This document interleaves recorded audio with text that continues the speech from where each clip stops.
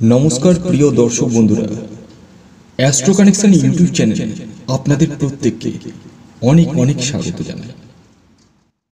বন্ধুরা, গৃহ থেকে দূর করুন এই দশটি জিনিস যা আপনাকে অর্থনৈতিক স্টেবিলিটির সাথে সাথে মানসিক পাওয়ার বাড়িয়ে তুলবে। আর এটি পরীক্ষিত, যা আমি আপনাদেরকে শেয়ার করতে চলেছি। তো কী সেই দশটি জিনিস তা জানতে ভিডিওটি সম্পূর্ণ দেখতে থাকুন।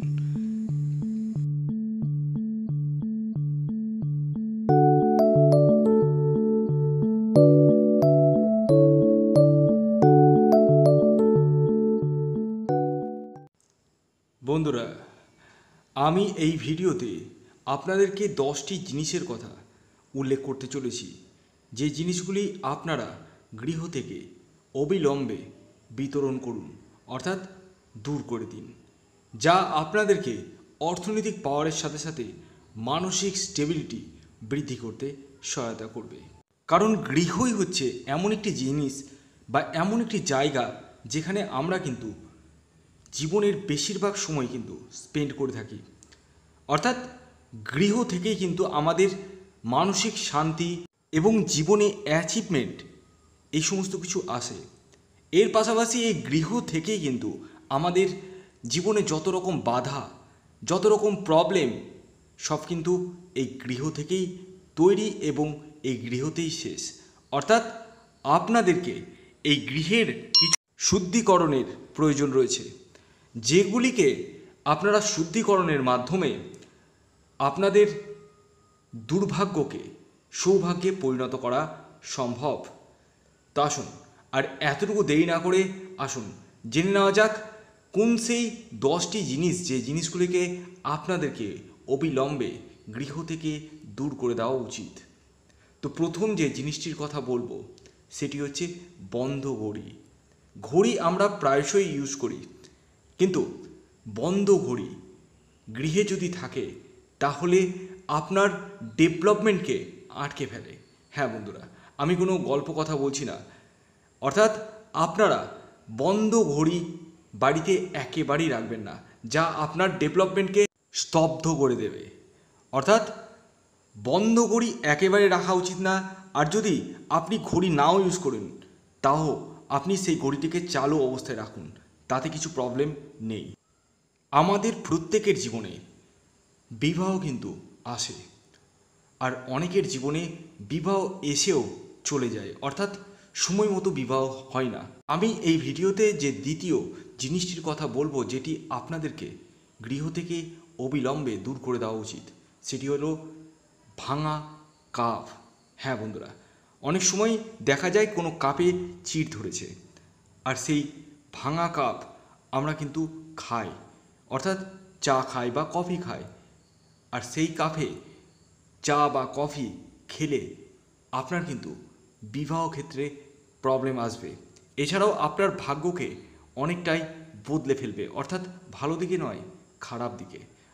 তাই ভাঙা কাপ যদি থাকে বা ভাঙা প্লেট যদি থাকে, সেগুলিকে এই মুহূর্তে আপনারা গৃহ থেকে দূর করে দিন। এরপরে তিন নম্বর যে জিনিসটির কথা বলব, যেটি আপনার ভাগ্যকে স্তব্ধ করে দিতে পারে, সেটি হলো ছেঁড়া ফাটা জামা। অর্থাৎ অনেক সময় দেখা যায় কোনো ছেঁড়া ফাটা জামা আপনি পরে রয়েছেন বা ইউজ করেন না, বাড়িতে রেখে দিয়েছেন, সেটি কিন্তু আপনার ভাগ্যকে স্তব্ধ করে দিতে পারে। এছাড়াও অনেক সময় ছেলেরা স্যান্ডো গেঞ্জি ছেঁড়া অবস্থায় থাকে, অর্থাৎ ছোট ফুটোর থাকে। সেই স্যান্ডো গেঞ্জি যদি আপনি পরেন, সেক্ষেত্রে কিন্তু আপনার ভাগ্য নষ্ট হয়ে যেতে পারে। তাই সবসময় ভালো জামা প্যান্ট পরার চেষ্টা করুন, যা শুক্রকে আকৃষ্ট করে। কারণ শুক্রই দেয় সুখ, শুক্রই দেয় ভোগ, আর এই ধরনের ছেঁড়াফাটা জামা যদি পরেন বা ছেঁড়াফাটা জামা যদি বাড়িতে রাখেন, সেক্ষেত্রে কিন্তু আপনার গৃহে প্রবলেম আসতে বাধ্য। এরপরে যে চার নম্বর জিনিসটির কথা বলব, যেটি শনিকে খারাপ করে দেয়। অর্থাৎ শনি কিন্তু রুষ্ট হয়ে যায় এবং আপনার সবসময় বিপদ আপদ লেগেই থাকবে। সেটি হলো ভাঙা বাসন। হ্যাঁ বন্ধুরা, অনেক সময় দেখা যায় আমরা গৃহে ভাঙা বাসন রেখে দিই। অর্থাৎ কোনো জায়গায় তুবড়ে গেছে, কোনো থালা, কোনো গ্লাস টেপসে গেছে। এই ধরনের বাসনে যদি আপনি খাবার গ্রহণ করেন, সেক্ষেত্রে মা লক্ষ্মী রুষ্ট হওয়ার পাশাপাশি শনিদেবও রুষ্ট হয়ে যান। আর যার দরুন আপনাদের জীবনে নেমে আসে কালো ছায়া। তাই ভাঙা বাসন যদি আপনার গৃহে থাকে, সেটিকে দূর করে দিন। এরপরে যে পাঁচ নম্বর জিনিসটির কথা বলব, সেটি আমাদের প্রত্যেকের বাড়িতে থাকেই থাকে। হ্যাঁ বন্ধুরা, সেটি হলো মাকড়সার জাল। হ্যাঁ বন্ধুরা, মাকড়সার জাল এমন একটি বাস্তুক্ষেত্রে নেগেটিভ ভূমিকা পালন করে, যা আপনাকে ঋণের জালে কিন্তু জড়িয়ে ফেলবে। অর্থাৎ মাকড়সার যেরকম জাল রয়েছে, সেরকম আপনিও কিন্তু জালে ফেসে যাবেন ঋণের। তাই আপনার গৃহে যদি মাকড়সার জাল থাকে, তাহলে অবিলম্বে সেটিকে ভেঙে দিন এবং বাইরে ফেলে দিন, যা আপনাকে ওয়ান স্টেপ এগিয়ে নিয়ে যেতে সহায়তা করবে। এরপরে যে ছয় নম্বর জিনিসটির কথা বলব, সেটি হচ্ছে পুরনো চটি জুতো। হ্যাঁ বন্ধুরা, অনেক সময় আমরা জুতো ব্যবহার করি, কিন্তু অনেক পুরনো জুতো থাকে যেগুলো আমরা ইউজ করি না, কিন্তু বাড়িতে রেখেই দিই। আর যা রাহু গ্রহকে কিন্তু খারাপ করে দেয়। আর রাহু খারাপ হলে আপনার কিন্তু অনেক ক্ষেত্রে বাধা ও বিপত্তি আসতে বাধ্য। এর পাশাপাশি আমাদের গৃহের ছাদকেও কিন্তু পরিষ্কার করে রাখতে হয়, কারণ গৃহের ছাদ দেখে কেতু গ্রহ। হ্যাঁ বন্ধুরা, তাই আপনার গৃহের ছাদ অর্থাৎ আপনার বাড়ির যে ছাদ রয়েছে, সেই ছাদকে সবসময় পরিষ্কার রাখুন, যা কেতু গ্রহকে কিন্তু শুভ রাখতে সহায়তা করবে।